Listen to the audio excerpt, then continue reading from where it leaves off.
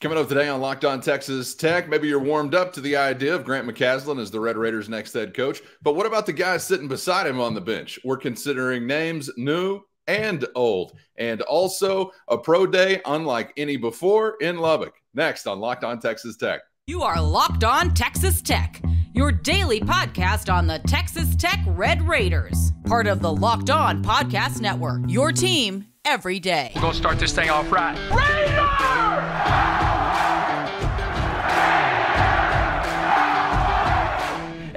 Through Lubbock. Great to see you again on Locked On Texas Tech on the Locked On Podcast Network. Always glad to be your first listen on YouTube or anywhere you get podcasts. Today's episode brought to you by FanDuel Sportsbook, America's number one sportsbook and the official sportsbook of Locked On. So make every moment more by visiting fanduel.com slash locked on today to get started. He's the only Chris Level. I'm Casey Cowan. Hey, Chris, hurry up and wait again. North Texas still alive in the National Invitational Tournament, which means, for all intents and purposes, the next head coach of Texas Tech basketball, figured to be Grant McCasland, will not be announced or publicly revealed until maybe the end of the week. Talking weekend now, as we've got a Thursday night NIT championship game. Hell of a game between North Texas and Wisconsin. So maybe take some things away from that if you had a chance to watch the basketball game. But uh, Chris, for us selfish Red Raiders here on Locked On Texas Tech, we are still biding our time, trying to remain patient and virtuous, as most Red Raiders are. Yeah, I, I think uh, I, I, think now we know we, have got a deadline. Uh, we, we love we love deadlines. We, have got we've got some finality, some closure uh, on the way. There will not be any games uh, past Thursday night for North Texas. So this much we we, we do know. And and, and I, I think I don't know if you've said something different, but I, I it's interesting is is we kind of it all points to to something happening here with uh, the next head coach and I think you get a lot of the fan base uh, kind of like, I wish they'd lose. I'm ready to to get on to my part of the program, and then you have another set of the fan base that is kind of like enjoying watching North Texas and rooting for them. Is kind of this. Uh, you know, because we all get a, a, a invested emotionally into sports for one reason or another, and um, I think that you know that game kind of was out of hand in the first half, and then in the second half, it wasn't. I think you you, you started to see some. Huh, yeah, guy can coach defense. I mean, I, I, I do think I do think, and I, I want I want us to discuss this a bit. I don't know if I've seen anybody close out a game on a nine minute scoring drought or holding somebody to that. Now, some of that is just bad shots, some of that is defense, some of that is just the, the pressure you're applying, but it equaled the same. 54 points with I think 854 left. Final score 54 points. If I'm not mistaken, Chris, I thought I saw was it 54 to 46 and then it wound up 56 54 or something along those lines. But yeah, that was that was quite the run to finish the game and hey, as Tom Izzo would tell you, that's just Big 10 basketball, baby. Big 10 basketball. Best conference in the country, right, Tom? Sure. Uh, I, I have not seen many runs like that in general in a basketball game, Chris. But to finish a game and extend your season, yeah, I thought there was a lot on display there as far as clearly just what you were doing on the defensive end of the floor, but some tenacity, some perseverance, some toughness uh, in his team. And dare I even say, as you're seeing those things play out, you know, down the stretch, second half, dare I even say that it reminded me of a few of those late to bloom in game Chris Beard teams that did eventually always bloom. But you know, you're sitting there at halftime so many times during some of those years and thinking, well, thank God we're a second half team because that first half stunk. but you would find a way. And a lot of that was just rooted in defense, toughness, and again, like mental tenacity, where you just you never stop fighting. And, and we saw some of that. But no, that was pretty unique. Yeah, I just think he's a guy um, with the way that they play, they just find a way. You know, they just find a way. And you know, I'm watching the first half, and you kind of get you, get thinking, uh, well, okay, it's not their night. Maybe the distractions have become too much. You know, I don't know. Uh, maybe Wisconsin's pretty good. Maybe you're just not as good. Whatever. And then uh, you go in and adjust a few things or kind of reset the deck and you know, like, hey guys, you know, we got a pretty good chance if they just don't score like anything. Like if they just don't score any points at all, like I kind of like our chances, and that's essentially what happened.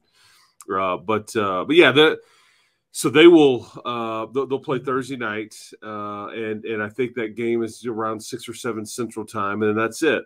And and I think uh, now now we kind of there's not been a lot of questions asked or or Texas Tech isn't hasn't been necessarily the topic uh, up in Las Vegas or out in Las Vegas, I should say, with with some of this media coverage. Uh, people may already kind of know what what is going to happen. So let's you know, but either way, did you hear? Uh, did you watch the game, Chris? Like entirely, or taking the broadcast? Listen I to what watched, Fran Fraschilla had to say. I I did not. I was watching it remotely, so on my phone, and I was doing something yeah. else while I was at another game. Actually, when I was doing that, so maybe he did address it. Uh, I saw this little quip, I guess, making the rounds on Twitter where Fraschilla said something during the course of the game of, as it relates to Grant McCasland. He's talking about Coach McCasland, uh, saying something like, "I'm anticipating a big announcement soon. I think I'm going to be seeing a lot more of him." obviously Fran Fraschilla calls Big 12 basketball throughout the year on uh, ESPN. If if you don't know who Fran is, but uh, I thought that was kind of interesting. He gave you a little tip there uh, as to what maybe the rest of the week could hold. Yeah, um, I, I, I think uh, everybody's trying to be. I think the reward is just uh, respectful I, th- I, think it. I think it says a lot about. Yeah, that's right. I think. I think everybody's, everybody's trying very to be, very delicate. yeah, everybody's trying to be very respectful of, and, and, part of this is because of who Grant is. I think there's a lot of people that really are fans of his just as the person, and like he's just not a. He's not one of those like like many are in the profession that rubs people the wrong way or or whatever.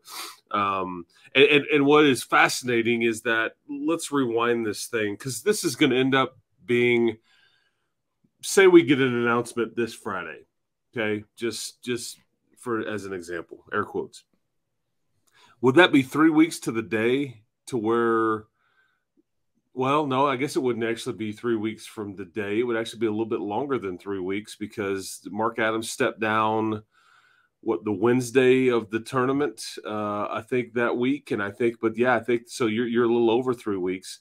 Point being, I think it's fascinating to me that as we got into this search a bit when it when it first started, and names were being tossed around, and you're trying to figure out what direction they may go. Um, Grant McCasland and, and Andy Kennedy uh, were, were two of those names, and they'll end up playing for an NIT championship.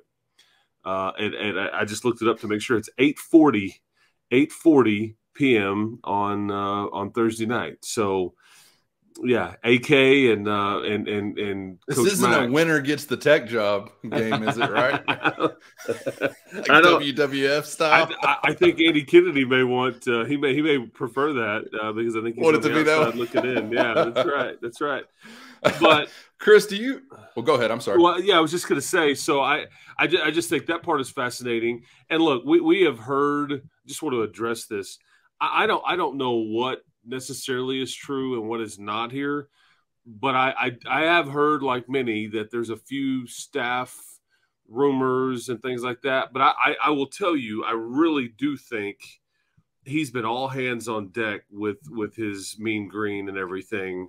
Uh, and and and you know, I just don't think he's going to make too much aware or has contacted hardly anybody for fear of word getting out as he's trying to to toe the line here and and not not upset the apple cart with North Texas or whatever. That's my opinion. That's what I think. But I know there's plenty out there of, of people that think they know, um, and I think some of that info could be true. But anyway, I just uh, anyway, it's going to be a long Why? another day and a half here as we wait.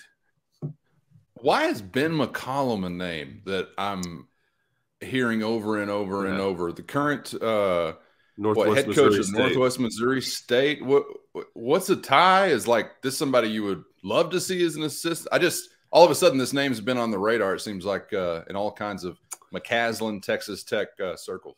But first, today's episode brought to you by America's number one sports book, FanDuel. And with the NCAA tournament on and popping right now is the perfect time to get busy, get signed up, and get started with FanDuel. And right now, new customers are in a prime spot to be on the receiving end of that no sweat first bet. We're talking up to $1,000 back in bonus bets if your first bet don't bank, baby. $1,000. So just go to fanduel.com slash locked on and sign up today to claim your no sweat first bet. Then you can lay it all on the line on everything from the money line to point spreads, which team is cutting down the nets, all on an app that's safe, secure, super easy to use, even if you're a first timer. So don't miss your shot at the no sweat first bet up to 1,000 bucks when you join FanDuel today. Just go to fanduel.com slash locked on to sign up and make every moment more with FanDuel. Why is Ben McCollum a name that I'm hearing over and over yeah. and over? The current uh, Northwest what, head Missouri coach of State. Northwest Missouri State. What what's a tie? Is like this somebody you would love to see as an assistant? I just all of a sudden this name's been on the radar. It seems like uh, in all kinds of McCasland, Texas Tech uh, circles. Well, so I think what is um, this comes full circle. What is interesting is that Mark Adams was had an affinity for Ben McCollum's like offense and like you know and, and some of what they did. Tried to actually hire him, I think, at some point over the last two years. Uh, Luke Adams studied him uh, quite a bit, and and I think, but again, I think they tried to pick up on some of the. He's been there for several years. It's a Division two school, if I'm not mistaken, and they win 30 plus games or, or have recently. I just think he's he's I think 41, so he's younger, so he's kind of like this is the next you know step. I think Ben McCollum also was about to be or was offered the University of Buffalo job uh, he turned it down, uh, according to reports. And so I, I think, uh, but but here, but now that we come to full circle part, I think Grant McCasland and Ben McCollum have known each other for a long, long time, and I would say they are very, very good friends. So mm. I think okay. that is uh, that is a high probability of of happening if um, and I and I, I think uh, I think Ben McCollum either wanted too much money, one or two wasn't didn't trust the fact that he would be able to actually coach the offense here uh, at Tech under under Mark, and that's kind of why it just didn't work out here. So I don't I don't know. I heard both. Like I, I think gotcha. he thought he just wouldn't be able to coach the offense, or two, hey man, he just he just wanted too much money. I don't know what was true, but it never it never happened. But yeah, his name is somebody I've been familiar with for for several years okay. now, and so that's the connection. But wouldn't be surprised at all if he's sitting next to, to Coach McCasland in, in Lubbock at some point. And I don't know him from Adam. I'm asking you because I was unfamiliar with him prior to this, but uh, having a guy sitting next to your head coach that's won national championships as a head coach, D2 level, in four of the previous six seasons, Chris, that would be a good thing, right? Even for a simple minded guy like me. Like, that's a guy you think probably knows some basketball. Four this of the previous six national championship. People will tell you, though, this is a big leap. D1 to okay. Power 5, I mean excuse me, D2 to Power 5 D1 is a is a giant step. I think I think McCollum's teams run a, a system, uh, a scheme. I, I, think at this level, it's it's just right, wrong, or indifferent. It's more about players, and I think if you can get players to run a good scheme and system, so I, I, I do think the you know, if, if somebody can handle the defense, I think that if you, if you look at what Coach McCollum could do maybe on offense, I, I don't know. Um, but it's about players.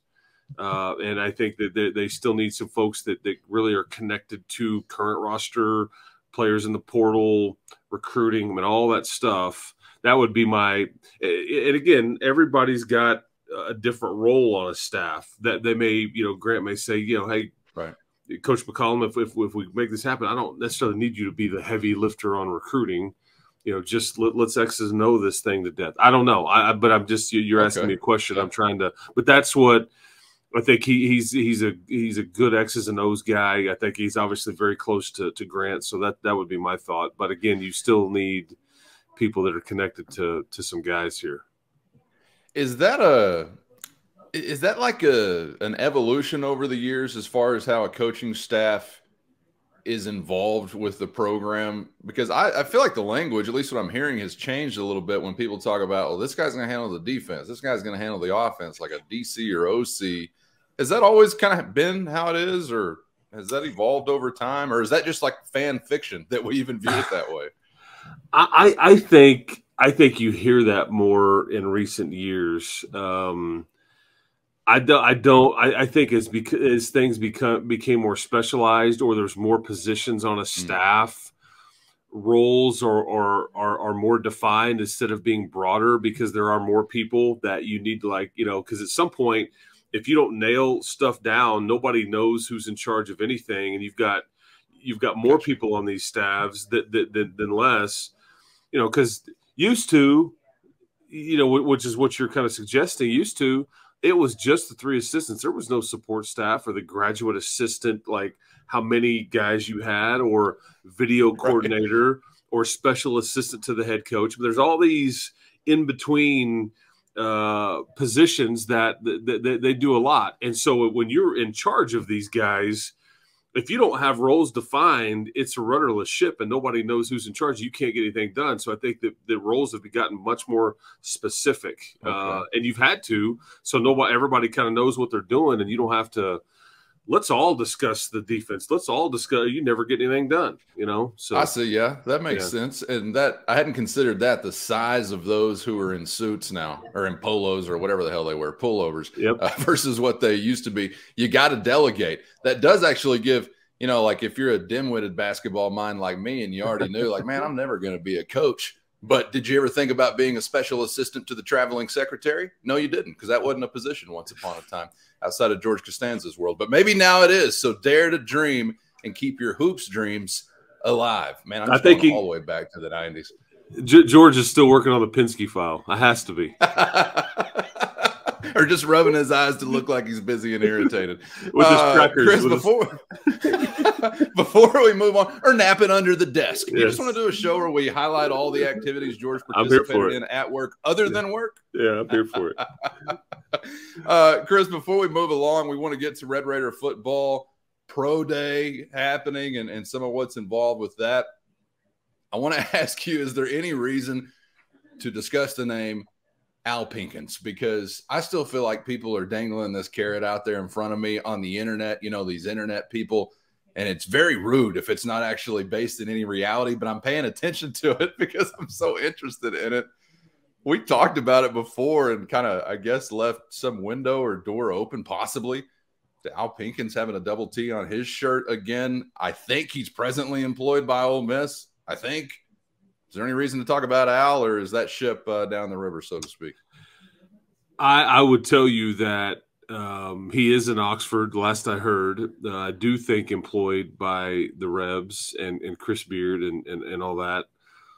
I do think though that if you want him to be here, he can he can do that. He can make that happen. Um, mm. So I, I, can't say I can't speak in absolutes there. I'm just going off sure. very informed um, you, you, know what, what the people that I, have I've talked to say no. If if and again, I think that is Coach McCasland's call. I want to make that very clear.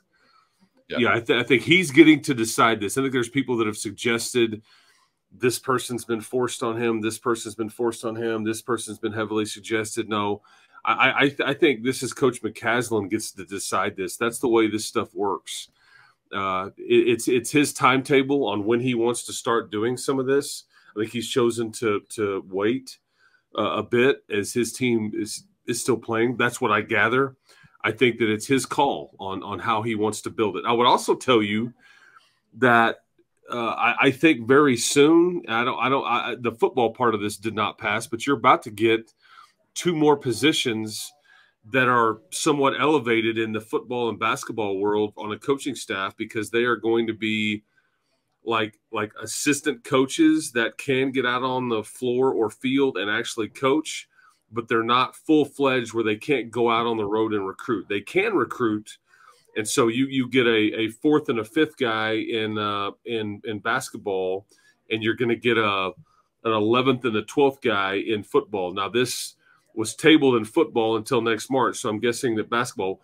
My point is, he could potentially hire the three assistants and a couple other guys that will eventually slide into those fairly meaty roles that are the, the only difference between them and an assistant is they just can't get on a plane and go see a prospect or whatever, but they can do everything else, including get on the floor and actually lead a practice, coach, uh, all, all, the stuff that an assistant coach would do.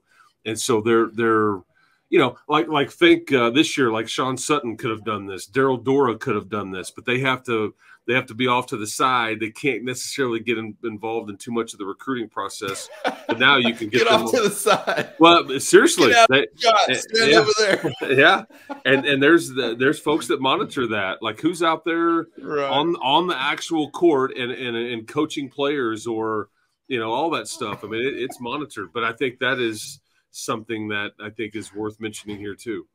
There's like a NCAA hall monitor in the rafters with binoculars trying to identify who's down on the floor. Hey, and by the way, you just described like a college basketball coaching job without having to recruit. And so I'd just like to submit my application right now, coach. Uh, I'm ready for that kind of thing. I always thought it'd be hell to be a college coach, having to travel around and kiss the ring of these 16 year olds and their handlers year round. But if I could do everything but that, I'm in. So just let me know. You can hit us up right here on YouTube, coach, if you're interested in something like that on the Locked On Texas Tech YouTube page.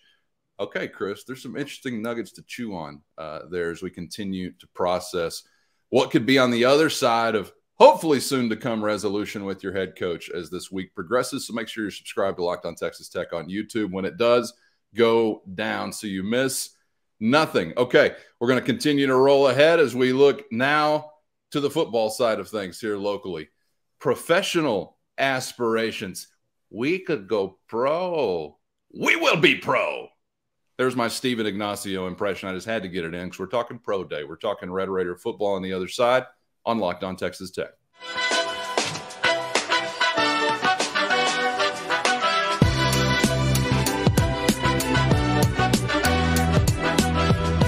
Joining us on Locked On Texas Tech on the Locked On Podcast Network. Chris Level, I'm Casey Cowan, coming at you from west of the 100th Meridian, where it's really going down. Chris, today in West Texas, Pro Day going down. Red Raider football players with an opportunity to showcase uh, what they got going on for those professional interests. And kind of an interesting time here as we're talking about – what could be happening here in Lubbock, but also a, a bigger picture was some interesting stuff happening with the conference at large. Uh, as far as a, another type of pro day gathering, maybe in the future, some innovation there.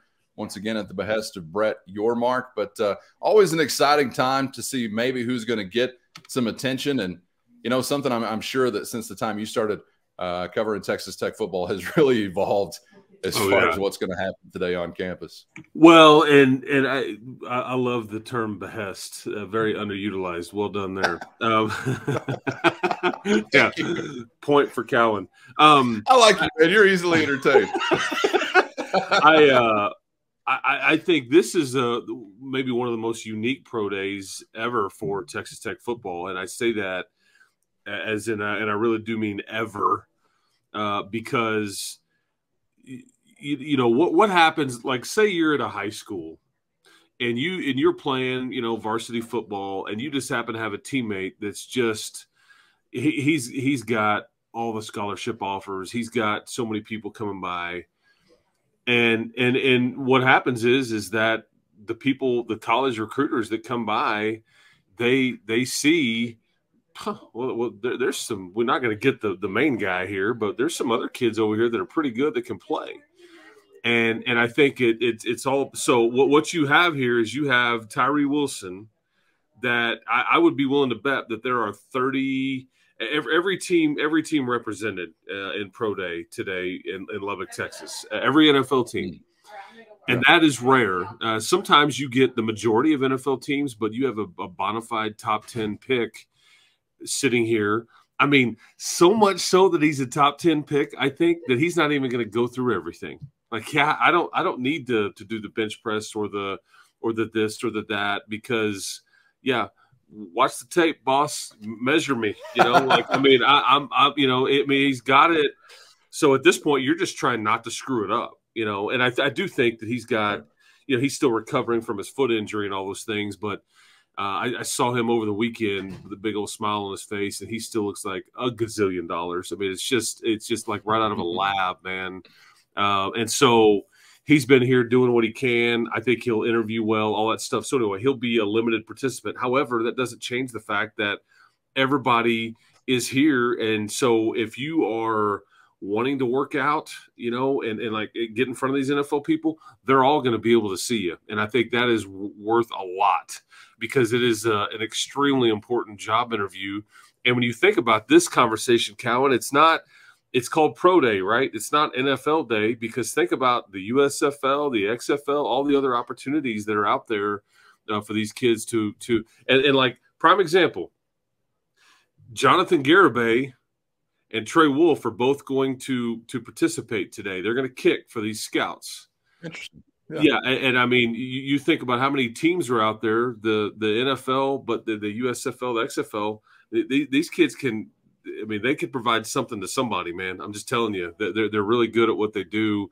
Strong leg. The Dallas Cowboys, possibly.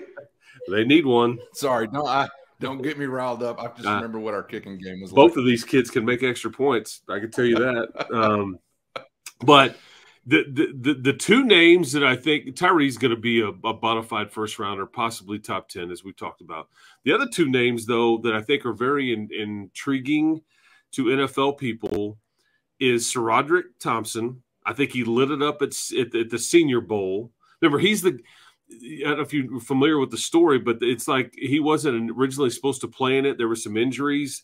They he was kind of alternate. They literally call him, fly him up there. He gets off the plane, is issued kind of practice gear, and he's on the field within like two hours. I mean, it's just like wild. And I think that I he, that he did really, really well. And I think everybody knew of his. Hey, is that the kid from Tech? He just got here you know, and I think that that was really good. He caught it well out of the backfield his deal will be about 40 time.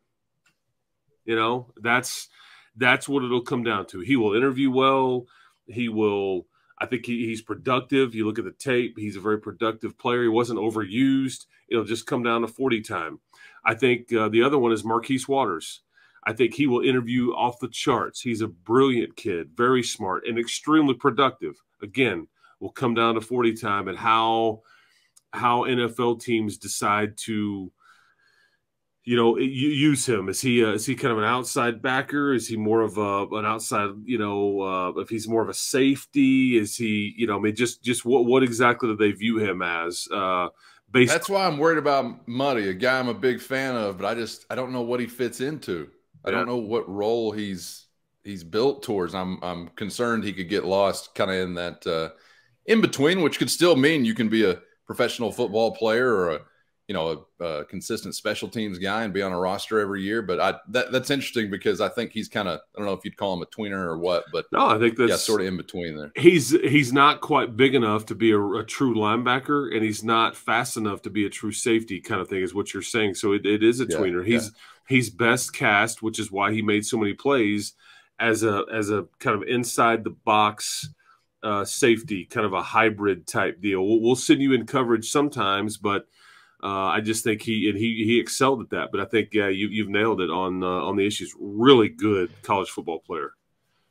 Yeah, yeah, was really glad he he wound up being in Lubbock. Uh, had an opportunity to visit with him last year on Black Label Radio and, and enjoyed that, and uh, certainly enjoyed watching him play football in red and black. And you know, SaRodorick Thompson is just a great reminder to me of I, I get why you want a forty time and why you know that's that's the most important thing ever. Shout out to Darrius Heyward-Bey. But SaRodorick Thompson's greatest gift to me as a football player was making chicken soup out of chicken spit. The dude never went down at first contact. If there was only two to gain via the way the play was executed, he might have got you five just because of what he was going to be after first contact, which seems like a valuable skill set. But what the hell do I know? I'm applying for a Texas Tech basketball job right now. So I don't know if I should be speaking on pro day. Thanks. Uh, Chris, I know you got to get out of here, but I'm just curious. Do you remember the first pro day you covered that was a quote unquote actual pro day in West Texas and what it looked like or what it was like? Yeah, well, it, it's it's a well-oiled machine these days. Uh, yeah, yeah. Th this was back when you didn't have that many pro uh, prospects, and there was, you know, I want to say ten to twelve teams Um, you know, I, I, think Texas Tech has done a really, really good job of organizing it. And part of that is because who your coaching staff is at the time. But then honestly, it's because I think the NFL folks kind of help run it. I mean, they're kind of in charge of some of these drills. It's like kind of, you know, the, the, the, they want to make sure they get good times and, and all these things. It's funny, we are talking about 40 times. You know, you know, there's another guy who I bet tests really, really well and I don't think it's NFL type draft pick or anything, but I bet he gets an opportunity because he can run, and that's Chad Townsend. Just could never play hmm. here because he wasn't healthy. But I mean, nobody has ever questioned his speed, which is why multiple coaching staffs here were just so intrigued by what he possibly could bring to the table. Uh, just because he could just flat out fly straight line speed. So if, if, if he runs a four three or something crazy, uh, today, it's not going to shock me a bit. Uh, but you know, I, I, wouldn't say he he just doesn't have a lot uh, on on tape in the last couple years because he's been dinged up. But I just uh, yeah, but it's the event has changed a lot, and you hinted at something. We'll get out of here in a second, but you hinted at something. It sounds like the Big Twelve may be kind of having a a group play day here, yeah. but they're going to call it Pro Day there in Frisco. yeah. And, and I, I, think it's pretty smart because you can really maximize all of these athletes, uh, you, you know, put, really, really give them a, a stage. Uh, and, and, you can, you know, I don't know how this will work if it's just an NFL or you can invite other things too, but at the Cowboys facilities, I mean, it's genius. And it's, I don't know if it's a reason why I'm for sure going to want to go play in the Big 12, but this is also something that I wouldn't be surprised. And you, you remember that I said this it's not as me if Brett Yormark figures out a way to televise this, uh, to to make it an event of sorts, and we get everybody under one roof, i.e., how the NFL Network does the uh, the the, the mm. combine in Indianapolis. And, and gives you two or three days. I find it to be very boring television. I just can't do it. I love the draft. To me, it's just boring watching these guys run up and down the field and and all that stuff. But but there's revenue to be made because somebody's interested in it. That's true. Yeah, I I, I used to just try to take in a Rich Eisen running a forty uh, in a suit, but I've even lost touch with that. Uh, no way. But yeah, if you can make a buck off of it, or if it's something, look, yeah, like you said, it's not something that's probably going to lead a kid to say, well, I'm going to go here instead of the SEC or whatever because of this. But it's also not something that's a disadvantage. It hurts nothing. Oh, yeah, and I kind of feel like this is your degree program until it's not football or whatever sport you're playing. So if that's one more step in I guess emphasizing or improving your ability to pursue that profession makes sense to fit it in. So I'm sure if it gets off the ground and has any steam behind it, uh, everyone else will copy the same thing. But kudos to Brett Yormark for uh, stepping out there once again and, and trying to be innovative with what the league is doing. Okay, some interesting stuff there to consider as well from a pro day perspective. Rising tide lifts all boats. That tide's name is Tyree Wilson. So best of luck to all out there, maybe getting some eyes on them that possibly wouldn't have been there otherwise. You're exactly right. I think that's an interesting way uh, to frame what will be happening on campus today. All right, stick with us on Locked On Texas Tech throughout the week again as we are nearing resolution within the Texas Tech head coaching search. I'm saying it because I believe it, not just because – I want you to come back. I really think it is going to happen. We gave you that locked on Texas Tech guarantee last week. A head coach will be named at some point in the future for Texas Tech men's basketball. Is anybody else even saying that? No, probably just us right here on Locked on Texas Tech. Uh, Chris, thanks for the time and perspectives as always. Enjoyed it, man. Appreciate it, man. We'll uh, patient Raider being patient. I think you coined that phrase the other day, so uh, we'll we'll continue to uh, sit and wait, right. man. Yeah, keep hope alive, everybody. Right. Subscribe on YouTube so you miss nothing whenever it is actually going down. Thanks for making us your first listen each day. And be sure to make Locked On College Basketball your second listen right here on the Locked On Podcast Network. For Chris Level, I'm Casey Callen. We'll see you on the other side on Locked On Texas Tech.